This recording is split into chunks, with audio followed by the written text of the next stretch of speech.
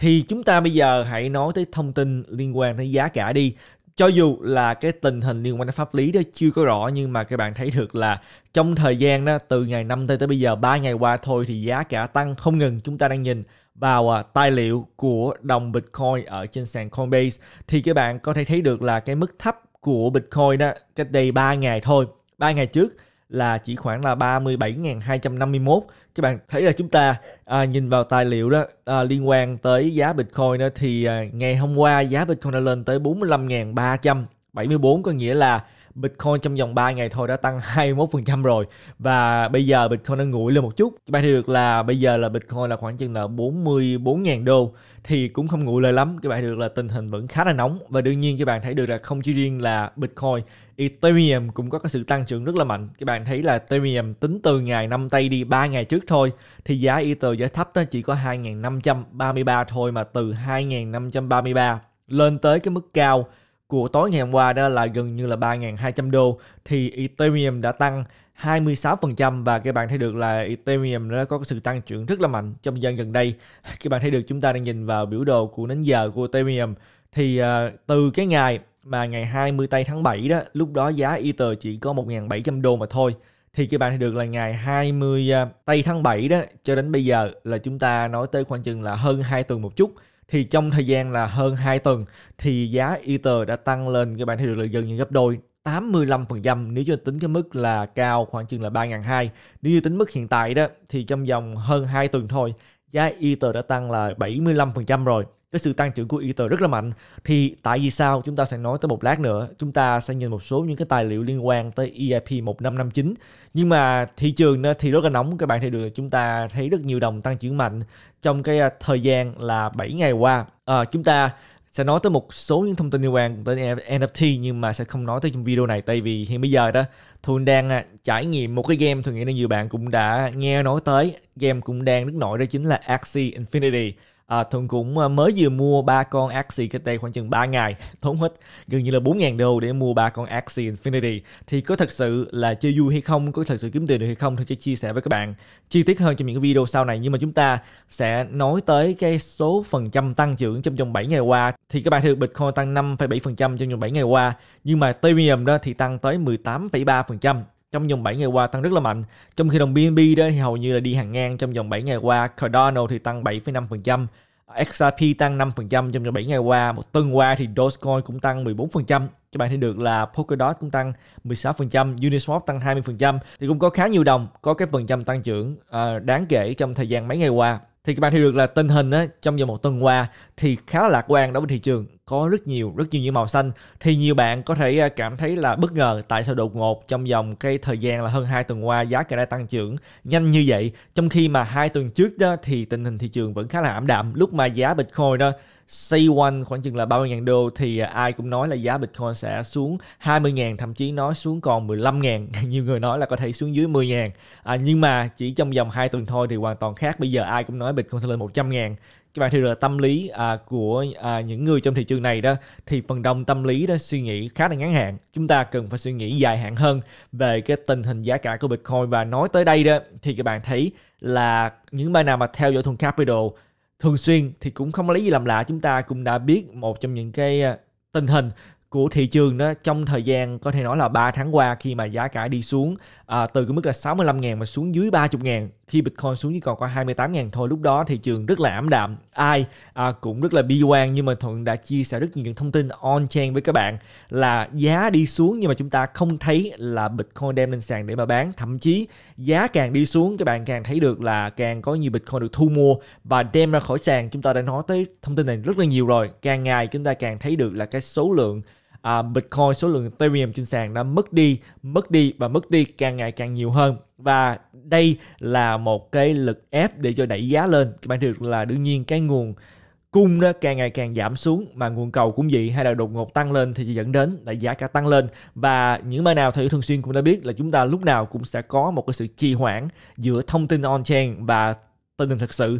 Nhiều bạn đó, khi mà thuận chia sẻ những tài liệu on chain đó, thì nhiều bạn nói là những thông tin này thuận chia sẻ đó không biết có tin tưởng được hay là không.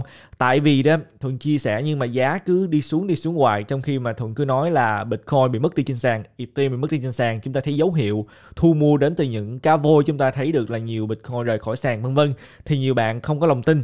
Nhưng mà khi mà nhìn lại các bạn thấy được là lúc nào cũng sẽ có cái sự trì hoãn và những gì xảy ra.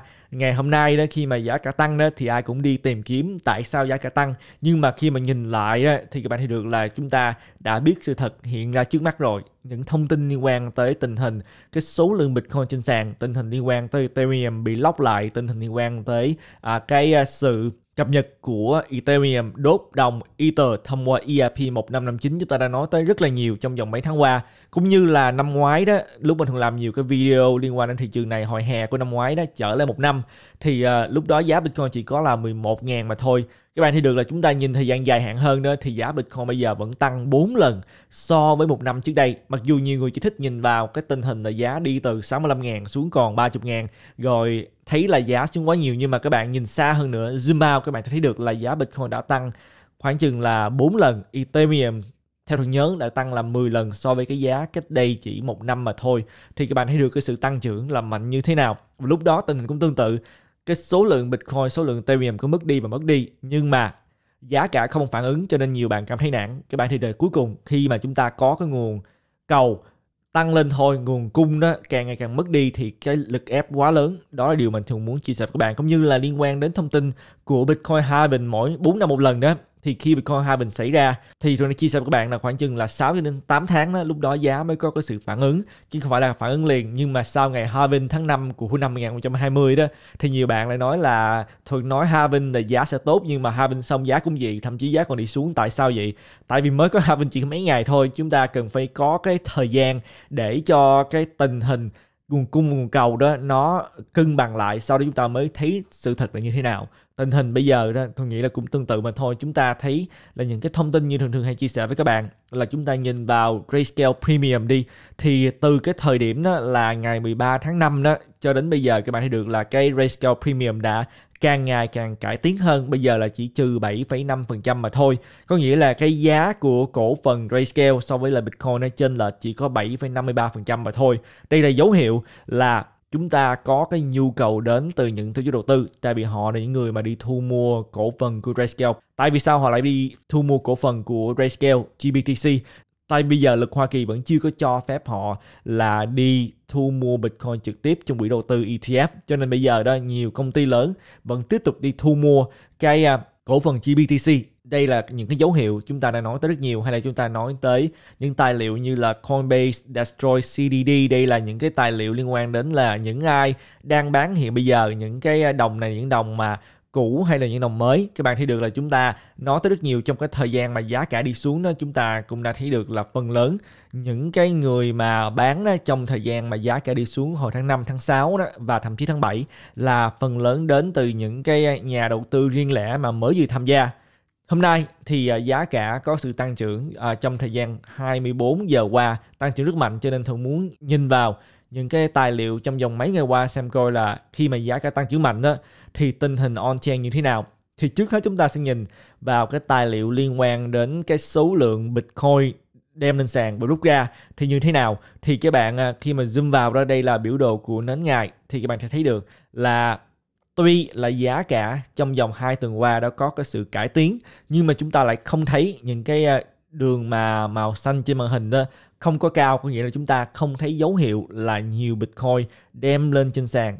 Các bạn hãy được đây là một điều rất là quan trọng, giá tăng nhưng mà chúng ta không thấy dấu hiệu là nhiều Bitcoin đem lên trên sàn, thậm chí là thời điểm ngày 26, 27 và 28 tới tháng 7 đó, ba ngày liên tục này cái số lượng Bitcoin rời khỏi sàn rất là lớn có nghĩa là giá tăng nhưng mà không thấy dấu hiệu là Bitcoin đẩy lên trên sàn. Chúng ta nhìn vào tài liệu này nhưng mà tính theo cái nến giờ đi thì các bạn thấy được là tính theo giờ đó, thì cũng tương tự mà thôi. Các bạn thấy được từ ngày 4 tới tới bây giờ đó, thì khá là im lặng. Chúng ta không thấy những cái dấu hiệu là nhiều Bitcoin để trên sàn, mặc dù là giá cả có sự tăng trưởng. Đó là điều rất quan trọng. Kế tiếp nữa, chúng ta nhìn vào ờ, cái số lượng Bitcoin trên tất cả những sàn giao dịch. Thì các bạn thấy được là từ cái ờ, thời điểm cái thời điểm mà chúng ta thấy là có nhiều Bitcoin đẩy lên trên sàn đó là từ ngày 7 tới tháng 4 mãi cho đến là ngày 14 tới tháng 6 nhưng mà sau đó thì các bạn thấy là cái xu hướng, là cái xu hướng tinh hình là chúng ta thấy được là Bitcoin đó càng ngày càng biến mất đi trên sàn. Có nghĩa là Bitcoin vẫn tiếp tục được rút ra chứ không có tăng lên nữa. Cái thời điểm mà chúng ta thấy là không tăng lên nữa đó đó chính là cái thời điểm khoảng chừng là ngày à, 16 tới tháng 6 cho đến bây giờ. Chúng ta bây giờ hãy chuyển qua để mà nói tới tài liệu tương tự nhưng mà chúng ta chỉ nhìn vào những cái sàn spot thôi, nghĩa là những cái ờ, sàn mà các bạn giao dịch thông thường đó. Tại vì chúng ta nhìn cái thông tin này đó, đây là cái thông tin liên quan tới tất cả các sàn, trong đó chúng ta có những cái sàn phái sinh thì thường người ta có thể đem Bitcoin lên ờ, để làm gì không phải để bán mà dùng đó để làm thế chấp để mà sử dụng futures, option vân vân. Cho nên nếu như muốn nhìn kỹ hơn đó thì nhìn vào tình hình của những sàn spot, những sàn thông thường thì các bạn thấy tình hình cũng như vậy. Bitcoin cứ mất đi và mất đi theo thời gian có nghĩa là càng ngày càng nhiều người rút Bitcoin ra khỏi sàn. Thì cũng tương tự các bạn thấy được là có một thời gian ngắn có nghĩa là từ cái thời gian là ngày 1 tháng 7 cho đến ngày 25 tháng 7 đó thì có dấu hiệu là có Bitcoin đẩy lên trên sàn nhưng mà sau đó Bitcoin lại được rút ra khỏi sàn. Nói tóm lại thì tình hình liên quan tới số lượng Bitcoin trên những sàn giao dịch đó, thì các bạn thấy được là giá cả có sự cải tiến trong vòng 2 tuần qua nhưng mà chúng ta không thấy dấu hiệu là có nhiều người đẩy Bitcoin lên trên sàn. Và tôi đã chia sẻ những cái thông tin mới đây để chứng minh điều đó. Chúng ta bây giờ hãy nói tới à, những cái dấu hiệu khác đi các bạn thấy được là chúng ta cũng thấy sự xuất hiện của một số những cái uh, cá vôi như là các bạn thấy được là ngày 25 tây và ngày 27 tây tháng 7 tôi đã chia sẻ với các bạn là chúng ta cũng có số lượng lớn Bitcoin rời khỏi sàn Coinbase Pro. Sàn Coinbase Pro là một sàn mà thường giúp đỡ những công ty thu mua số lượng lớn Bitcoin đó. Chúng ta có những công ty như là công ty Tesla, công ty MicroStrategy họ đều thông qua Coinbase Pro hết. Cho nên thông tin Coinbase Pro cái số lượng Bitcoin rời khỏi rất quan trọng. Kế tiếp nữa chúng ta chia sẻ về tình hình của thời đào đi thì các bạn sẽ thấy được là giá cả có sự cải tiến trong hai tuần qua nhưng mà chúng ta lại không thấy tình hình là thời đào à, có cái dấu hiệu à, đem Bitcoin lên sàn để mà bán như là các bạn nhìn thấy trên màn hình cái số lượng Bitcoin đẩy lên sàn từ những ví thời đào Bitcoin đó thì cũng coi như là thấp chứ không có cao không cao như là các bạn thấy được tình hình như là hồi tháng 10 cho đến à, tháng 2 của năm 2021. Bây giờ tình hình trong thời gian gần đây đã khá là ổn định. À, chúng ta nhìn vào tài liệu này nhưng mà nhìn vào à, tài liệu theo giờ đi thì à, chúng ta cũng thấy bắt đầu có dấu hiệu là để thường zoom vào các bạn thấy rõ ràng hơn là chúng ta thấy được là ngày hôm qua đó thì cũng có một à, khoảng thời gian chúng ta thấy được là có nhiều Bitcoin đẩy lên đến từ những cái thời đào nhưng mà nhiều ở đây đó là tính theo thời gian 24 giờ à, tính theo từng giờ một nhưng mà tính tổng quát đó thì không có nhiều. À, đây là điều mà thường muốn chia sẻ với các bạn. Có nghĩa là giá cứ tiếp tục tăng để thường nghĩ chúng ta sẽ có thể có thêm dấu hiệu là thời đạo đẩy Bitcoin lên để mà tiếp tục bán nhưng mà cho đến bây giờ điều đó vẫn chưa có xảy ra.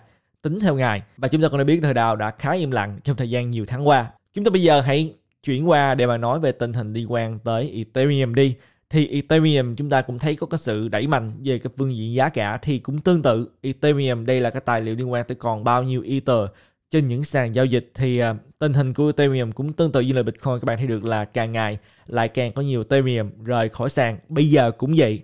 Các bạn thì chúng ta nhìn vào tài liệu là trong cái thời điểm mà giá cả Ether tăng trưởng trong vòng 2 tuần qua thì có nhiều Ether đẩy lên trên sàn hay là không? Thì các bạn thấy được là không có. Cũng giống như là Bitcoin chúng ta không có dấu hiệu là nhiều Ether đẩy lên những sàn giao dịch. Chúng ta bây giờ chuyển qua đến giờ đi để coi những thông tin ờ, gần đây nhất. Thì chúng ta cũng thấy là tương tự từ hôm qua tới bây giờ đó chúng ta cũng không thấy dấu hiệu là nhiều Ether đẩy lên trên sàn mặc dù giá cả tăng.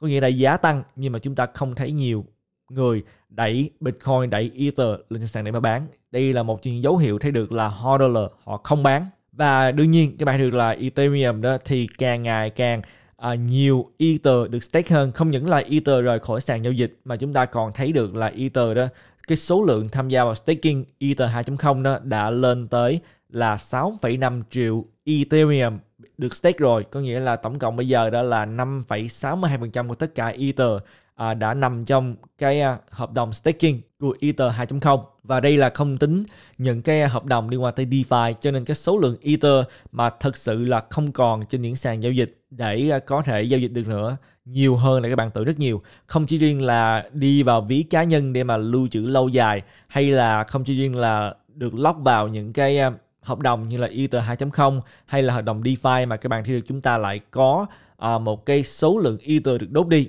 nhưng mà trước hết á, thì các bạn thấy được chúng ta nhìn vào tình hình như được chia sẻ với các bạn chúng ta có rất nhiều những đầu ổn định nằm sẵn ở trên sàn.